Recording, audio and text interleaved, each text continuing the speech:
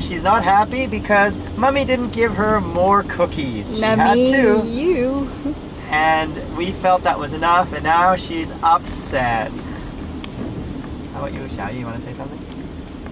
Abby, would you like to show us how you how how upset you are? No, actually, she's fine. Hello, Abby. Abby, we're in Costco now. We're going to shop. One of uh, your favorite activity. She likes to shop. Wow, look at all these cars. Yeah. Okay, Abby.